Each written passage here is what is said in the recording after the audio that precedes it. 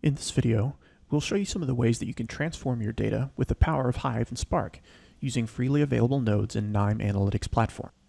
We'll demonstrate in-database ETL processing procedures on a Hive backend, and then show an approach for tackling these tasks using both Spark nodes and execution of Spark SQL queries. We'll also discuss Spark partitioning and briefly present the Spark Web UI, useful for monitoring your Spark jobs.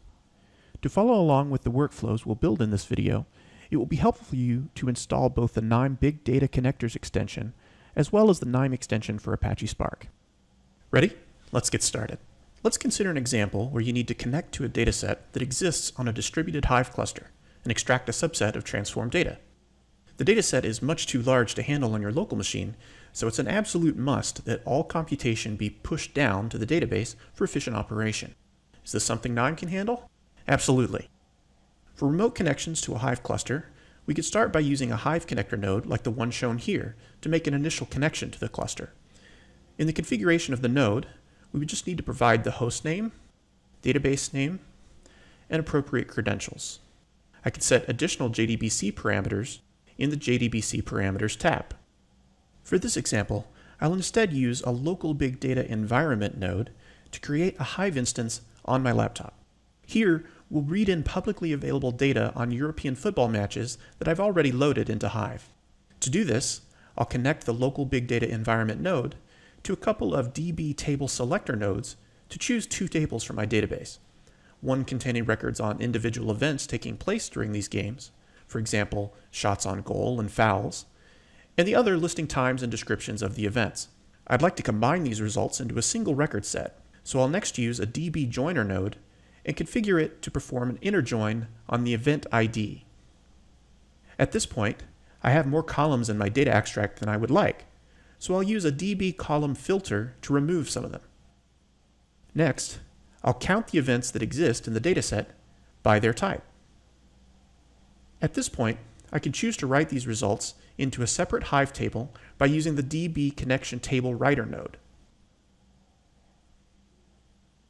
Finally, since the result of my aggregation is relatively small, I can pull it directly into KNIME using a DB reader node and create a bar chart to visualize my football events.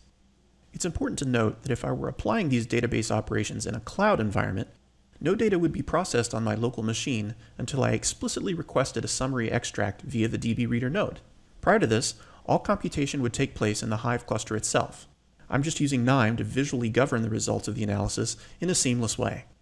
Now that we've done a bit of ETL with KNIME's DB nodes on a Hive cluster, let's see what we can do with Spark instead. KNIME has a large number of dedicated Spark nodes to help you manipulate and transform your data. Everything from simple filtering, grouping, and pivoting to conversion between different distributed file formats like Parquet and ORC, and even advanced use of PySpark. Apart from extensive Spark ETL capabilities, KNIME also supports many of Spark's machine learning algorithms. To explore Spark in KNIME, let's continue our previous example on a different branch of our workflow, using Hive to Spark nodes to begin data processing. Let's connect two of these nodes to the DB table selector nodes as before.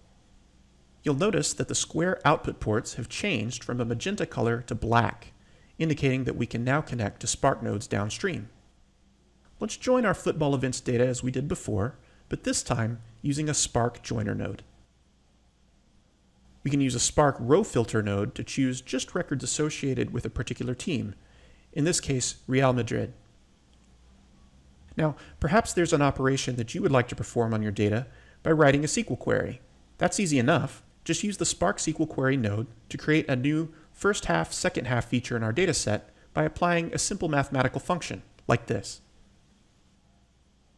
To summarize our data extract, let's connect a Spark pivoting node to aggregate events by player for each half and look at the results.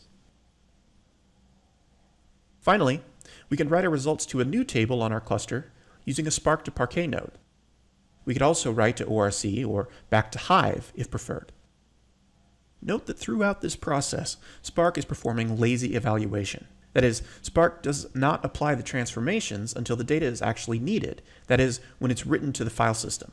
This can sometimes cause the node that triggers the evaluation to run longer than expected, because all the previous transformations are done in this step as well. Also worth noting is that Spark handles data in partitions. Usually a data frame, or RDD, is split into several partitions and distributed on the worker nodes in the cluster. This is done to parallelize the execution and avoid network traffic. Due to the distributed storage, data in a Hadoop cluster is spread to several worker nodes. Spark tries to process the data on nodes that are close to the data and only transfers them to other nodes if needed. Note that if you would like to adjust the Spark partitions yourself, you can do so using our partitioned by statement in a DB table creator node. Now that we've loaded and processed our data, we can take a look at the Spark Web UI within KNIME to see what's going on behind the scenes and monitor the progress of our operations. By right-clicking on the Create Local Big Data Environment node and selecting Spark Context, like this, KNIME displays a window showing the options we used when executing the node. It also contains a blue hyperlink to open the Spark Web UI. Let's do that now.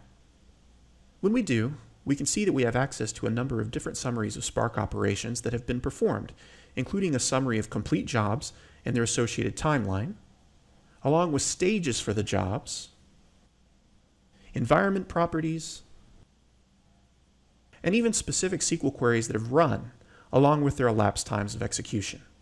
In this video, we've showed you how you can use KNIME to orchestrate many different types of ETL functions in both Hive and Spark, with a focus on pushing resource-intensive processing to your cluster.